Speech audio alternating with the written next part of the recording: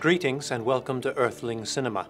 I am your host, Garyx Wormuloid. This week's artifact is The Dark Knight, co-written by visionary auteur Jonathan Nolan and directed by his brother. The Dark Knight tells the story of Bruce Wayne, a run-of-the-mill billionaire playboy who suffers from a brain disease that makes him pretend to be a rodent.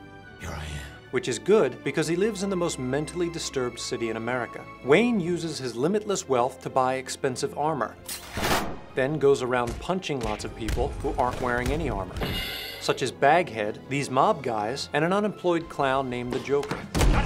The Joker decides he wants to get to know this Batman a little better, so he offers to not kill a bunch of people in exchange for Batman's identity. Batman catches him instead, but not before the Joker sets up a tasty little trap. District Attorney Harvey Dent and perennial love interest Rachel Dawes are locked in two different rooms filled with barrels, which are deadly to humans. Rachel is killed, and Dent changes his name to Two-Face, even though Half-Face is probably more accurate. The Joker escapes, and Batman uses his Bluetooth to track him down and finally spend some quality time together. Two-Face starts throwing a hissy fit, so Batman silences him with a big hug, then takes the blame for everything and goes on a much-needed vacation.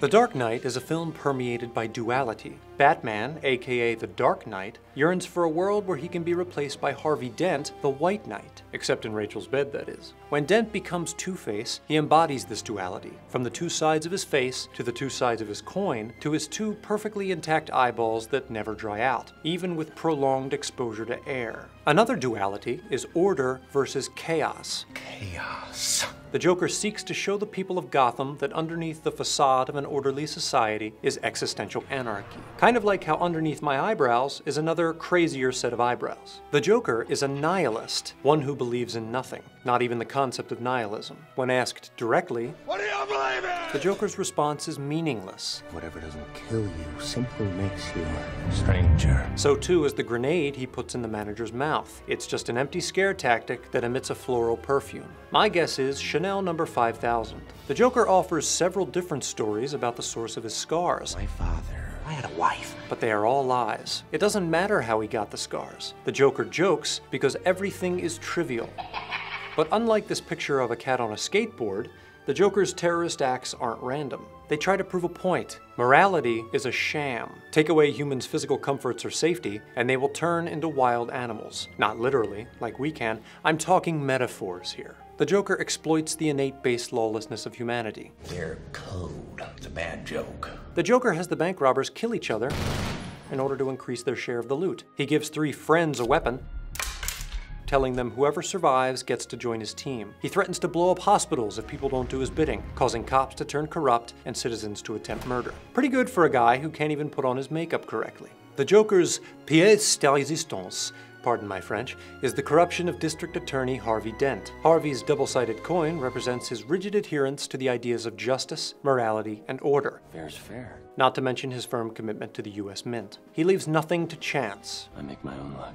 But after he becomes Two-Face, the coin is scarred on one side, turning it into a regular coin, 50-50. Or if you're really good at coin flipping, 60-60. Just like the coin, Dent has been infected by the Joker's vision, a reality ruled only by cosmic anarchy. The only morality in a cruel world is chance. At the beginning of the film, Dent is a Christ figure whose campaign slogan has religious connotations. I believe in Harvey Dent. But whereas most films use Christ imagery to suggest that the character has sacrificed himself for an ideal or for the good of humanity, The Dark Knight shows us a daring and modern interpretation of the Christ image. It shows a Christ without resurrection. In other words, just a dead dude with a righteous beard. A false ideal, but one that must be upheld as a beacon of hope for mankind. Batman takes it upon himself to uphold that facade Whatever Gotham needs me to be.